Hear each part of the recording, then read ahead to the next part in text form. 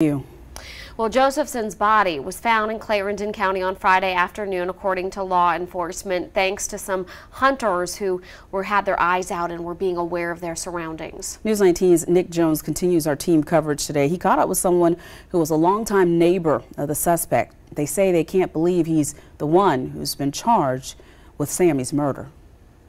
The people who live in New Zion are shocked Samantha Josephson's body was found right in their community. According to the people who live here, the man charged with her murder used to live right down the road where her body was found. The Columbia Police Department identifies the suspect as 24-year-old Nathaniel Rowland. According to online records and people who live off of Knowlton Road in Clarendon County, Rowland lived half a mile down from where they say Josephson's body was found.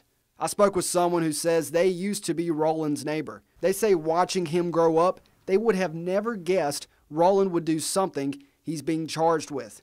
We chose to only show their shadow to protect their identity. He was a, a sweetheart, a gentleman.